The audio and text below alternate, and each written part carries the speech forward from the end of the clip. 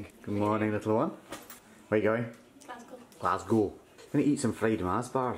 Probably not. Probably not, because you're off for a bit of posing practice. No. Two weeks out? Uh, yeah. Two weeks today. Two weeks from the show today. Yeah. Got some If you need a plaster.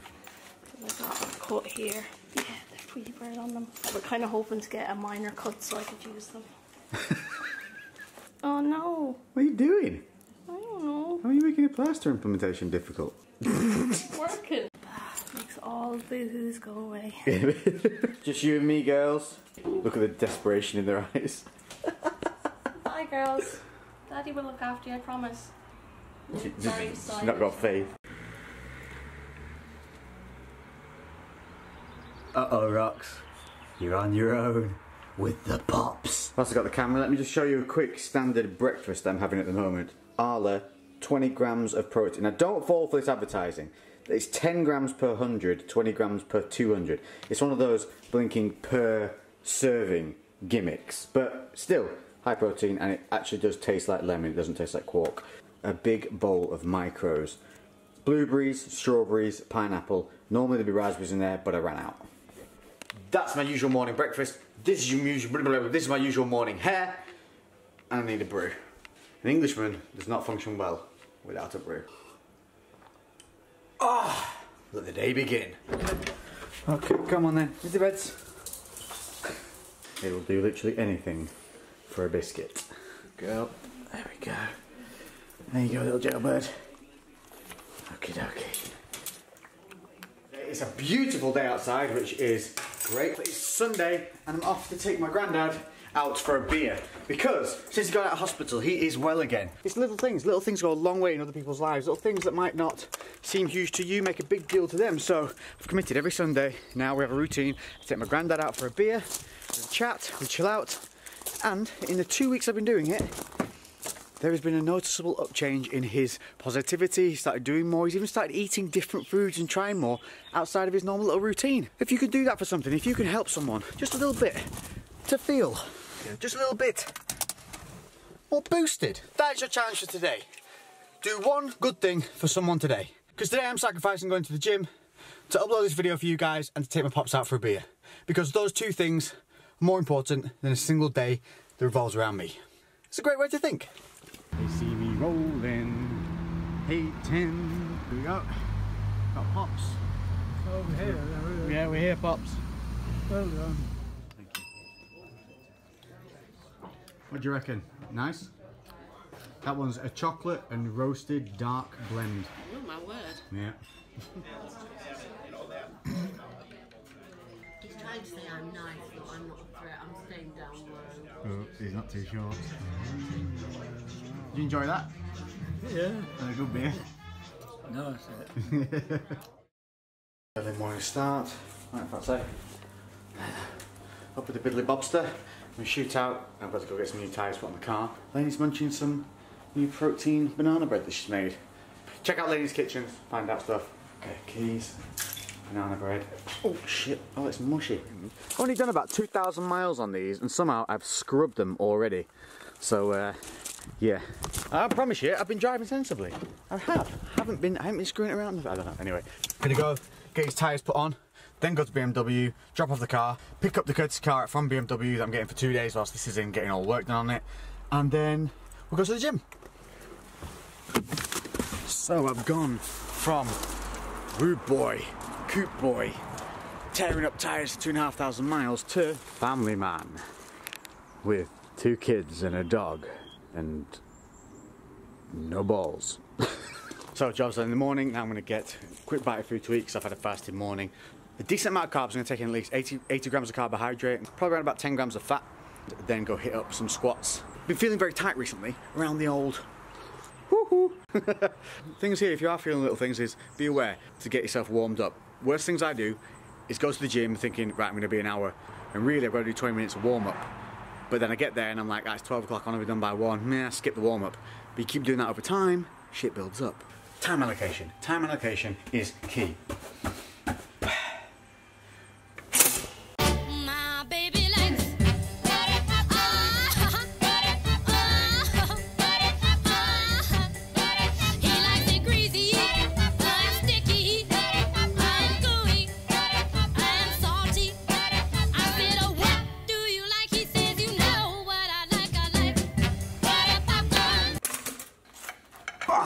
This is my lowish volume, kind of easily stomached breakfast that also gets a lot of good carbs, micros, and health in there. So I've got my strawberries, pineapples, high protein yogurt, a little bit of honey on the top, toast with butter and marmite because I genuinely enjoy this. Plus, this is actually a protein bread, it's Dr. Zak's protein bread, so there's 20 grams of protein between these two slices of bread, plus some decent fats in there from the seeds and wholemeal and things that are in that.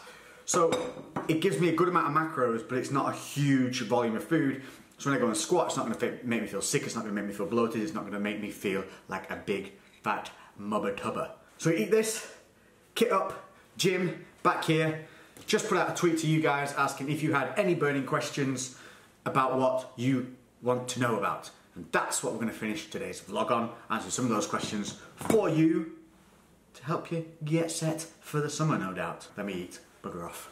Some people were asking me again online, and I did cover this a little bit before in the podcast. If you haven't listened to the podcast, listen to the podcast. Links and everything for that will be below. But some people were asking me if pre-workouts are a good idea. Let me quickly buzz through this. Yes, but not all the time, especially the stim-based ones. If you're taking a lot of stimulants all the time, you're going to smash your beta receptors down. You're going to lose that buzz that you get from the stimulus of the caffeine and those stimulants that are in there, so it kind of defeats the purpose. Only utilize those on days where you're really going to go hard or you feel like you need it or perk it up. Don't become mentally reliant on pre-workouts. You get it in your head that you haven't taken anything, and then you feel a little bit down, feel a little bit flat, feel like your training's not going to go well because you haven't taken that, and you know, negative feedback loop. That's what we don't want. We want positive feedback loops. Same thing goes for also the physiological side of things. You don't want something on deadlift day, squat day. You don't want something that's going to pump you out and affect your mobility. That's when there's horses for courses. Different things come into play. So like today, I'm going to squat. So this is what I'm taking today. I'm not taking the PSI. I'm taking the RPM from EHP. That's because this one is focus and stimulant, no pump. When I'm going to go in and do something like chest and I want that pump and that blood flow, that's when I take the PSI because that's no stims, but pump and blood flow. So make sure that you're using the right thing for the right days as well, but also don't use them every day. Make sense? So squat days, deadlift days, you want stims, no pump. Check out as well mobility. I'm going to go through some of that today. Just some different ones that didn't show in the other video. So check out the squat video if you want to know about that. There's full on squat video, link in the description again. I'm going to show you a couple of little extra quick things today that I utilize as well to help me uh, get prepped for the squat. And then I'll just show you the best of my squat, which will hopefully be decent because I've had a bit of a tight boop boop. Yeah, tight groin, tight hip flexors, been a bit shitty. Hopefully we'll get over that today. Anyway, right, let's go. So, a quick look at this mobility work I'm talking about. And the first one here is the leg swings. Super simple, very effective. But the goal here is to keep your torso facing forward whilst you swing through. So, don't allow your torso to rotate. And that's why I'm keeping my hand on my stomach there. You can see me doing it. Then from here, same thing. Kick back, bring your knee high, kicking back through your heel. This is activating the glutes. Again, don't let your lower back arch. Then stretching out the glutes. Grip your ankle like you can see me doing here and pull your legs so that it's in line with the hips because it'll tend to kick in a little bit. Stretch it that way and then finish off with another 10 seconds pulling tight through with the knee. Drive the opposite leg towards the wall, keeping it nice and flat. Really good stretch for the glute. And then mobility wise, again, then do these kick throughs. So you're keeping your kicking your heel through towards the wall. Obviously do this on both legs. Kind of do three sets on every single one. Now here we're looking for putting myself into the squat position using the leg press with a light weight and letting it push the weight through, which is opening up on my hips. Then I do that with each single leg. Be very careful here not to chop off your other leg. And then again, this is helping to stretch out, open up the hips, and really loosen off the groin. So if you tend to be tight there, this one I found really, really effective. So once you've done all your mobility, then it's time to get under the weight, but don't jump straight in. Do some warming sets. So I did warm-ins on 60 kilograms, and I did around eight reps on this, 8 to 10 I think it was, then jumped up to 80 kilograms and I did two sets at 80 of 8 reps. And in that time, I'm thinking about load displacement, body posture, all the rules I talked about in the previous squat video. If you haven't watched that, link is in the description. Then what I did was going to working sets, started at 90 kilos, did one set on that, one set on 95, and then three sets at 100.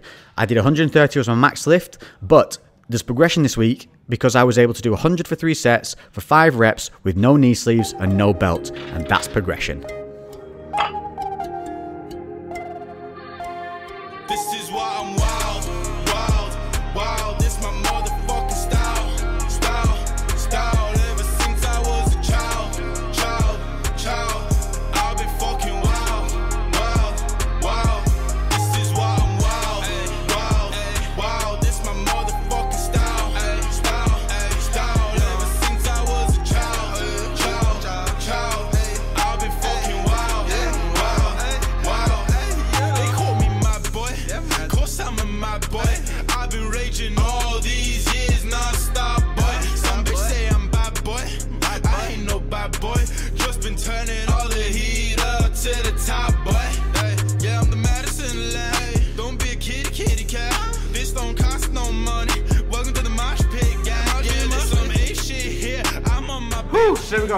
Push for time. Squats done, seven sets.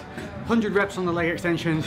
Calves, seven sets. And I'm just gonna give credit to my man here, Hash. So we're at Better Bodies Gym at the moment. I can't, I can't take credit for another man's work.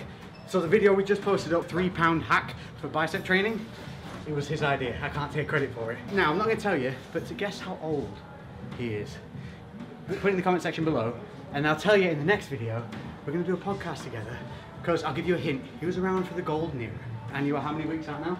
Oh, five. and five weeks out. So not only are we going to do that, we're going to have a chat about the golden era training on the podcast and some little hints and tips that he has from the old school days, but also sneak peeks at his physique at the age that I'll tell you next time. Yes?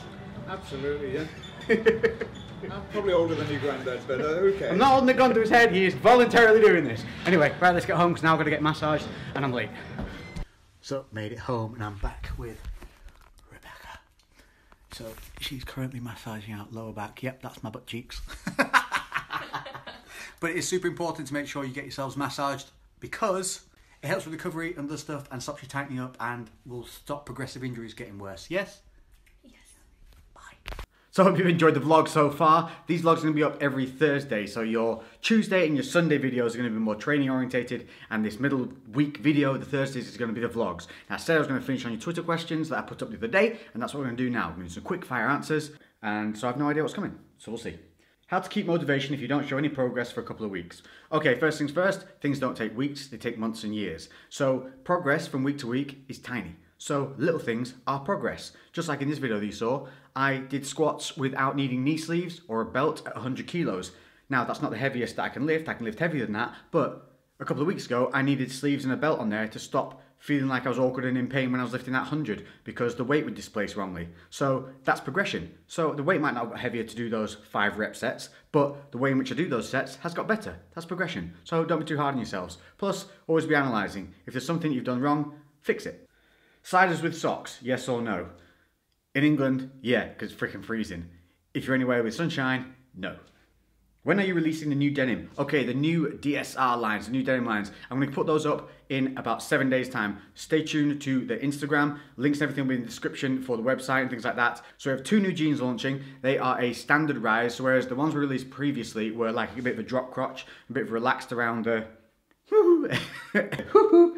Call me Woody Woodpecker. Not pecker as in that meaning. No. Moving on. So two new jeans we're releasing. They're going to be distressed, heavily distressed for the blues, and then there's a washed grey version which is lightly distressed. Same taper down to the ankle, but they've got a lower rise, meaning they fit more like a standard skinny fit jean, but with a better taper, no bagging, no sagging, all comfort and full mobility. Plus three new t-shirts. So there's going to be the white one you might see me wearing with the DSR logo just here, nice and simple with a black little label on the bottom. Then there's going to be the black with the white, the time is now logo, which you've seen. You've been on Instagram, you'll have seen that one already, plus I think I wore it on here. And then there's a really cool one that you haven't seen yet, which has a huge back print on it, and it's like an acid wash kind of black and creamy colour.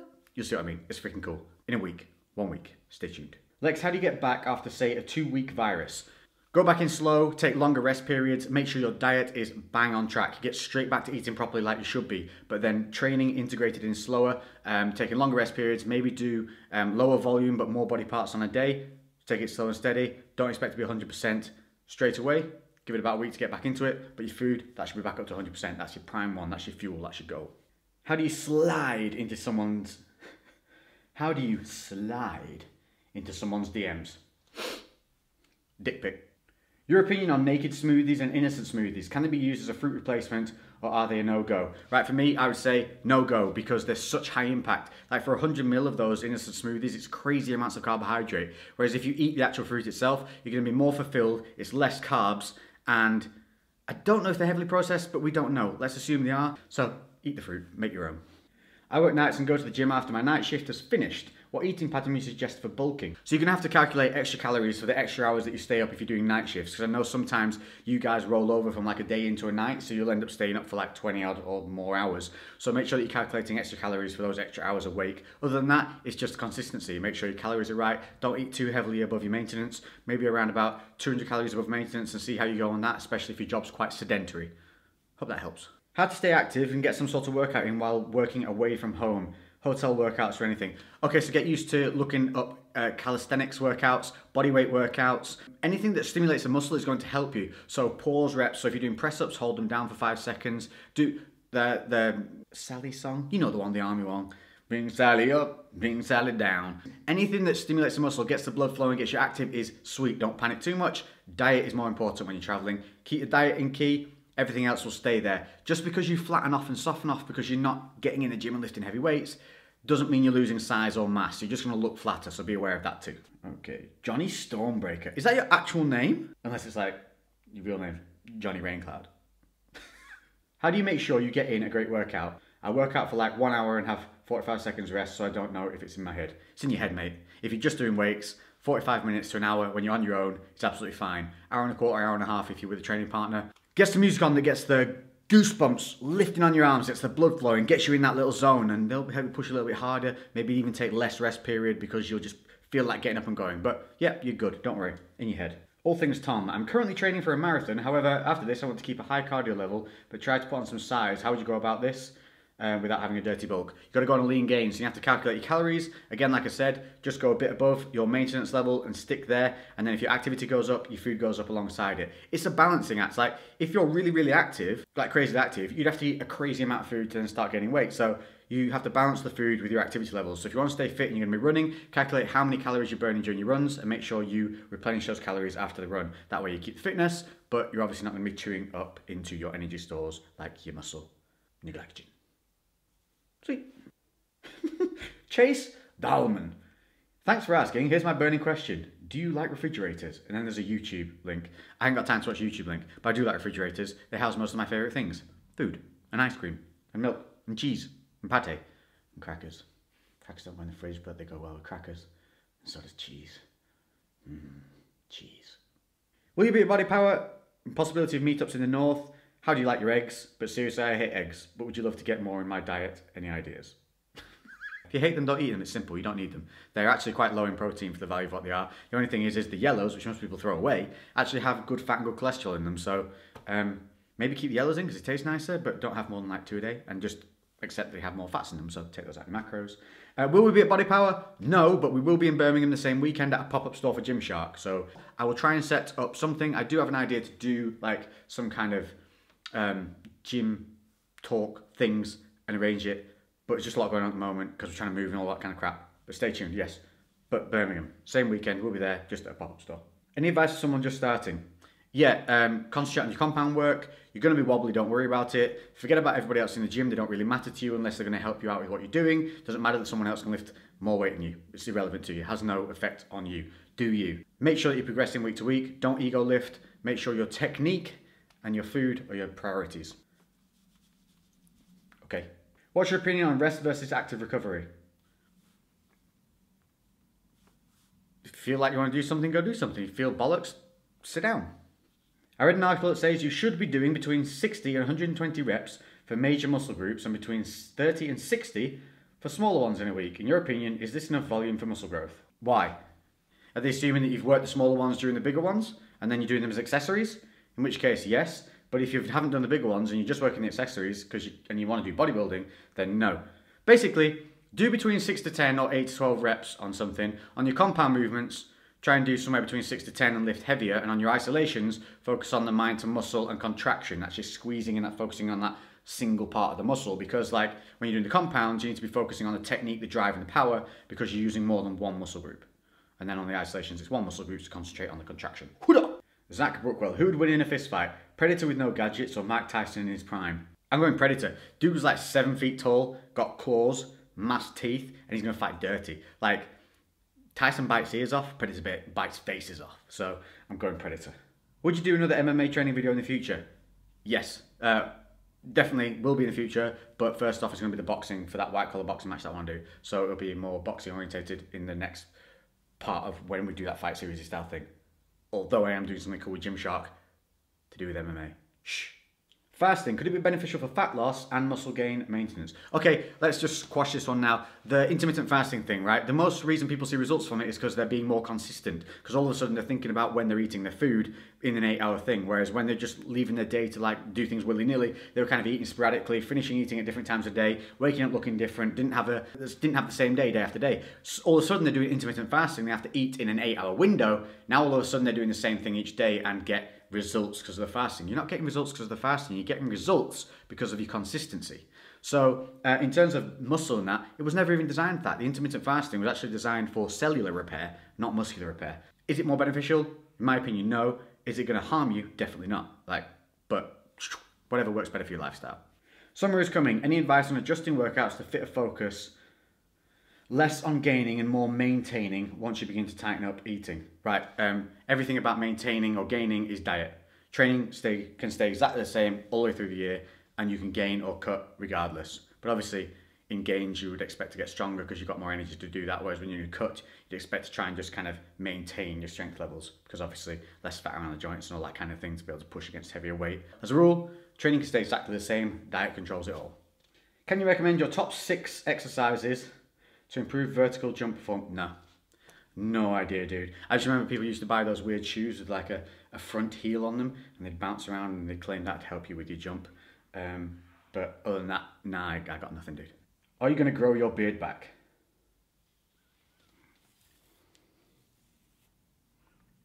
Maybe. So that's it, that's it for this vlog. Thank you all very much. I'll see you on Sunday for the next training video. Don't know what it is yet. I've got a couple in the in the old backlog, ready to roll, ready to rock and roll for you guys. So let me know in the comments section what you'd like to see. Thanks for all the support. Make sure to hit that notification bell if you haven't. Some of you are saying that notification, you click it and it says you'll get notified um, occasionally or something like that. If you go into your settings, into your notifications, you can, you can then do it like on the back end of your login, whatever.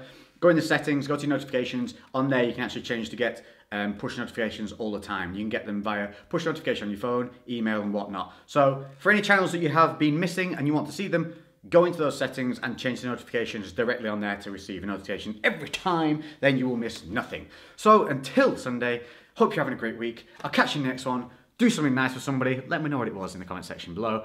I've been Lex, and we are out. Boom, baby.